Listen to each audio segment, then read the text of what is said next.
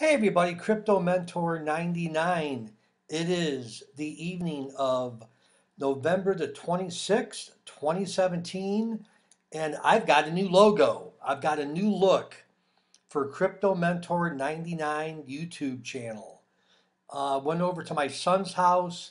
He knocked this out in about a half hour. I hope you like it. I've been on YouTube for three months, little over three months, three and a half months I want to start to improve myself, and this is one of the ways that I wanted to do it. Let me know what you think. What do you think of the C? It's got this, you know, like the Bitcoin dollar sign. And uh, yeah, the 99 is kind of offset in blue. Anyhow, Crypto Mentor 99. I got to go. See you later. Bye.